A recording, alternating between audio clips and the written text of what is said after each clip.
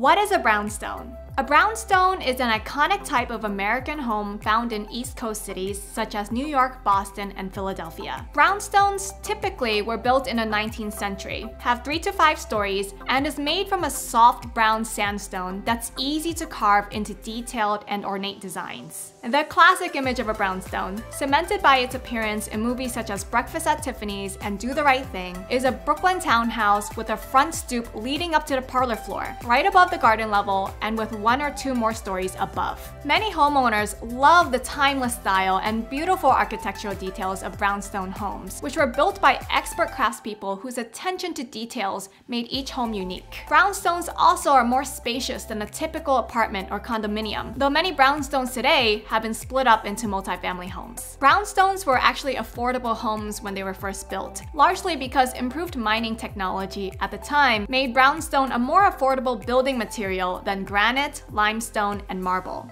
Today, however, buying a brownstone is expensive. They are admired for their spaciousness and for being located in walkable, highly desirable urban areas. In Brooklyn, for example, it's rare to find a brownstone listed for sale for less than $2 million.